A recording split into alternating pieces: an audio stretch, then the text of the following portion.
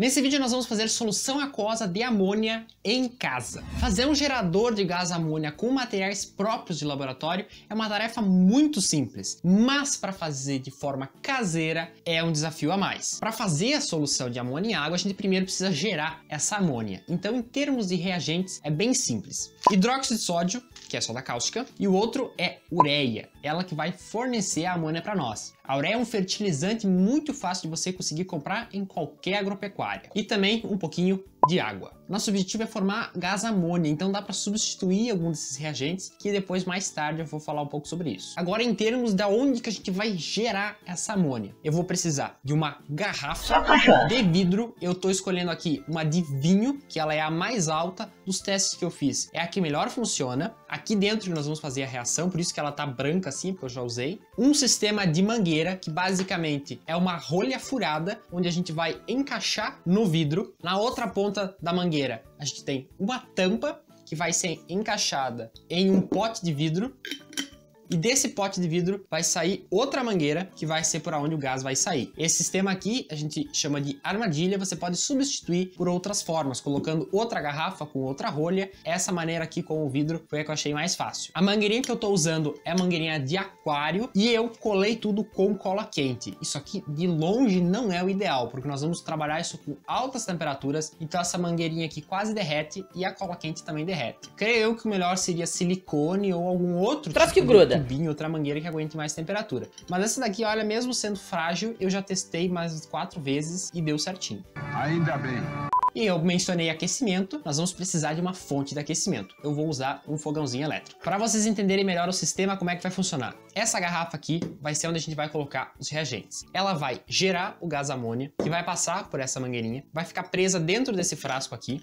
O gás vai encher o frasco e depois vai sair e vai ser borbulhado num frasco de água e a amônia vai se solubilizar na água. Bravo!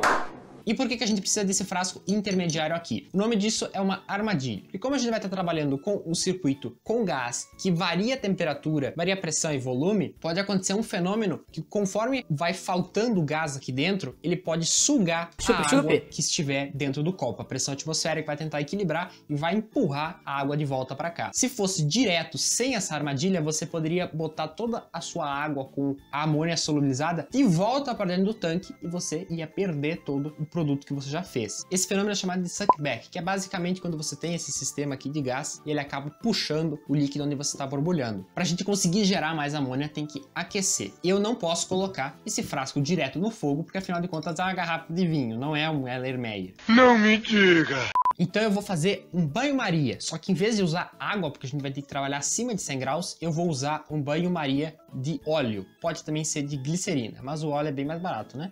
Certamente que sim. Antes da gente fazer a reação, eu preciso mencionar medidas de segurança. Nós estar trabalhando com amônia, que é um gás, ele é tóxico, então você tem que estar em um ambiente ventilado e além do gás, a gente vai trabalhando com soda cáustica, que é corrosiva, e também vai ser tudo quente, então vai ter que ter bastante cuidado com a temperatura para a gente não se queimar.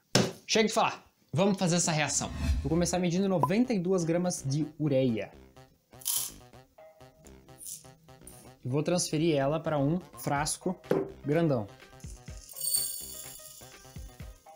Agora 200 gramas de água. E vai para dentro do frasco.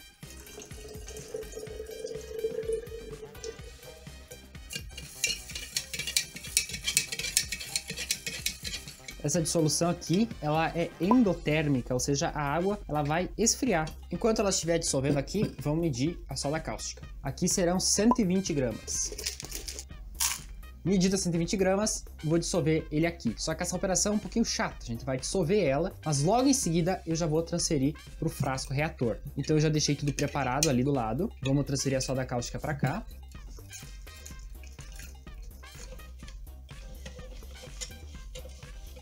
Agora ela vai aquecer, porque a dissolução da soda cáustica é exotérmica, que vai nos ajudar a conseguir dissolver tudo. Pronto, tudo dissolvido. Vamos transferir para dentro do frasco reator com o auxílio de um funil.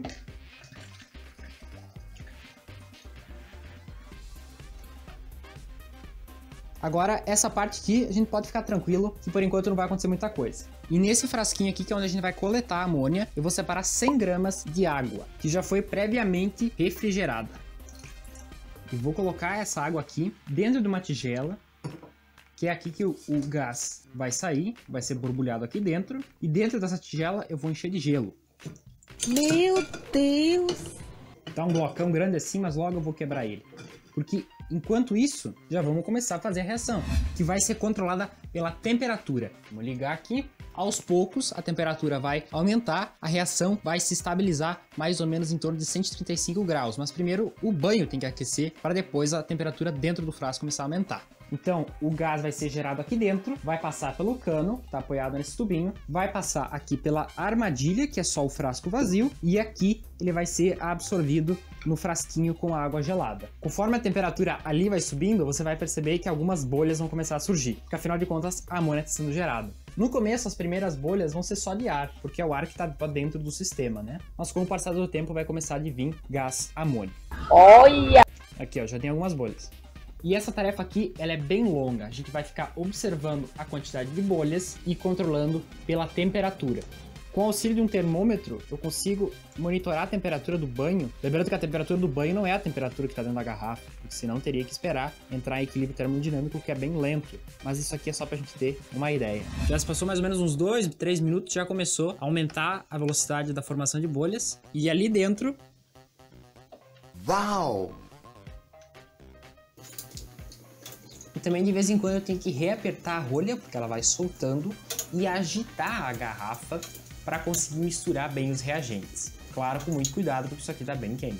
Enquanto eu fazia isso aqui, eu observei uma coisa. Como a gente está colocando as bolhas lá embaixo do copo e elas têm que subir e serem absorvidas, como esse frasquinho aqui ele era mais largo e não tão alto, as bolhas não tinham muito tempo de ficar dentro da água para subir. O que acontecia? Muita amônia estava escapando. Eu coloquei um frasco mais estreito e mais comprido. Assim a bolha tem mais caminho para passar, logo mais tempo ela fica submersa na água para ser absorvida. Resultado, tem pouquíssimas bolhas que estão vindo aqui. Dá para perceber claramente que elas se formam lá e somem logo aqui em seguida. Outra coisa também que a gente vai ter que fazer vai ser adicionar mais gelo. Todo aquele gelo que estava aqui já está se indo e eu tenho que colocar mais gelo para manter a temperatura baixa. Como a reação é longa, vamos entender ela enquanto isso. É bem simples, a gente vai estar tá reagindo a ureia com o hidróxido de sódio, gerando amônia e carbonato de sódio. A amônia é o que a gente quer, ela vai ser borbulhada na água. Quando a amônia entra em contato com a água líquida, elas conseguem reagir entre eles e a amônia com a água forma hidróxido de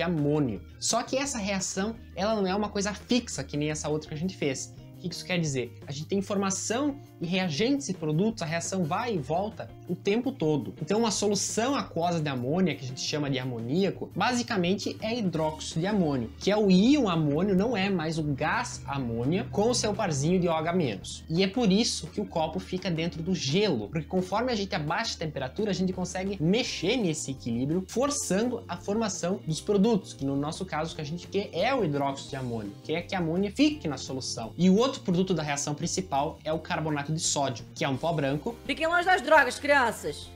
Que vai ficar dentro do frasco e não vai interferir em muita coisa. Entendendo essa reação, a gente consegue ter ideia de quanto gás vai ser gerado. Com as quantidades que eu usei, se formam mais ou menos 3 mols de amônia. Considerando que nenhuma amônia seja perdida em todo esse processo, com mais ou menos 100 ml, a gente conseguiria a concentração máxima de amônia em água. Só que como na prática nada é perfeito, se tem muita perda de amônia durante o processo e nem toda ela é absorvida pela água. E não fui eu que fiz esses cálculos, eu peguei do canal Química Experimental se vocês quiserem verem o vídeo original, tem aqui um link na descrição. Muito obrigado, muito obrigado. E agora eu vou falar daquilo que eu mencionei antes de substituir os reagentes, que tem a ver com esse processo de solubilização na água. Se a gente quiser só o gás amônia, esse processo aqui é excelente. Se o nosso objetivo quer fazer amoníaco, quer solubilizar a amônia na água, essa escolha de reagentes aqui com a ureia soda cáustica, que é feita em meio aquoso, que a gente dissolve ele na água, não é muito bom, porque como todo frasco vai estar muito quente, vapor de água também percorre o circuito, boa parte desse vapor condensa aqui na armadilha, então a gente tem que esvaziar ela toda hora. E uma parte do vapor também condensa dentro da própria solução, porque você tem vapor de água indo para dentro de uma solução de água fria, esse vapor condensa. O que acontece? Você está adicionando amônia, concentrando a solução, ao passo que você também adiciona um pouco de água. Então você não consegue chegar numa concentração muito alta, porque sempre vai chegando um pouquinho de vapor. Eu não sei se dá para fazer essa reação aqui sem colocar a ureia soda cáustica dissolvida na água, mas eu sei que se substituir a ureia por sulfato de amônio e refazer os cálculos para ajustar a estequiometria, gera amônia sem precisar solubilizar os reagentes e no final das contas você tem uma solução de amoníaco melhor porque você não está colocando vapor de água dentro da solução. Certo? Antes da gente continuar, lembra de deixar um gostei nesse vídeo daqui para mostrar que você está curtindo esse conteúdo e claro, se inscreva no canal e ative as notificações para se tornar um aprendiz. Uma hora depois. Acabei de perder, não estava gravando. A armadilha funcionou. Ela acabou de sugar tudo que estava aqui, que nós já estamos chegando no final. Então, eu vou tirar primeiro daqui e depois eu vou desligar o aquecimento. E eu vou recuperar esse que está aqui na armadilha, porque aqui só ficou uma parte.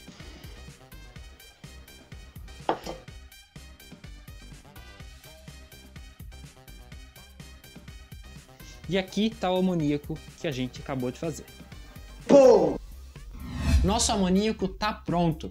Uhul! Antes de eu contar qual a concentração que eu consegui e fazer um teste para mostrar que realmente é amônia, eu tenho uma recomendação para você, o livro A História da Ciência para quem tem pressa, passando por várias áreas da ciência, mostrando como que era antigamente, desde os princípios de alquimia, de mexer com frasco e solução, até a gente chegar nessa química moderna que nós temos até hoje. Para você comprar e colaborar com o canal, tem o link aqui na descrição. Ótima leitura para você.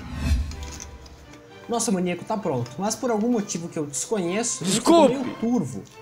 Então eu fiz uma filtração simples usando algodão antes de guardar ele.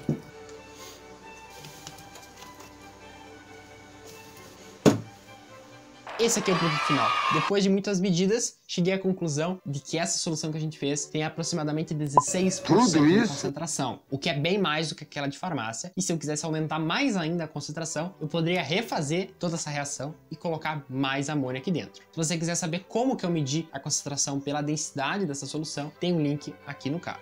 Beleza, mané.